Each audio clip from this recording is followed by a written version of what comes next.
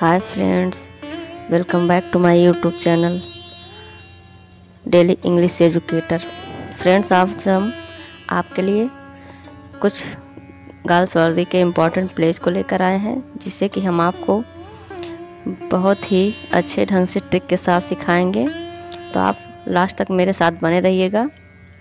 अगर आपको मेरी ट्रिक्स अच्छी लगती है तो प्लीज़ मेरे वीडियो को लाइक और चैनल को सब्सक्राइब ज़रूर कीजिएगा ताकि हम आगे भी आपके लिए ट्रिक्स वाली वीडियो लाते रहें। तो टाइम ना वेस्ट करते हुए चलिए शुरू करते हैं आज की वीडियो।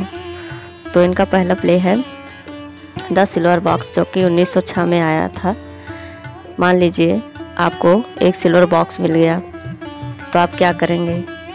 खुश हो जाएँगे।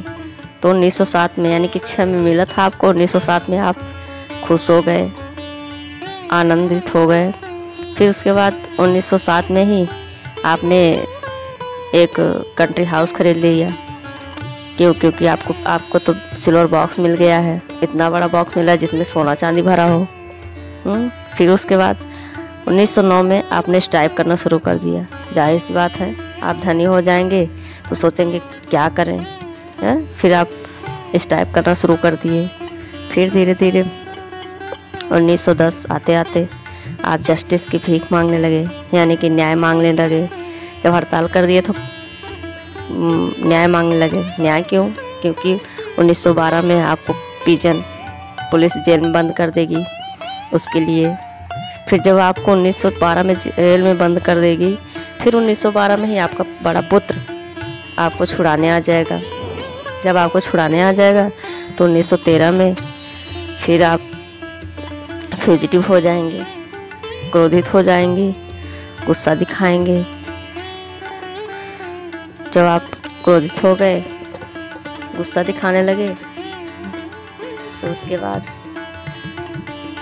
1914 में ढेर सारी भीड़ आ जाएगी आपके सामने। लोगों की, जो कि बहुत ही क्रोधित होगी सामने से, वो भी। फिर आप क्या करेंगे? 1914 में ही ए बी टाफला आपके मन में थोड़ा सा प्रेम लगेगा। एकदम बिल्कुल थोड़ा सा फिर आप दो तीन साल तक ऐसे ही रहेंगे। जब थोड़ा सा प्रेम प्रेम उमड़ेगा तो।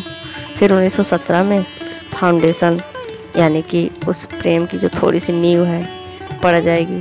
1920 आते आते आप फिर से एक गेम शुरू कर देंगे। तो इस तरह से आप इनके सभी प्ले याद कर सकते हैं। अगर आपको यह वीडियो अच्छी लगी हो तो प्लीज़ सपोर्ट कीजिए and thank you for watching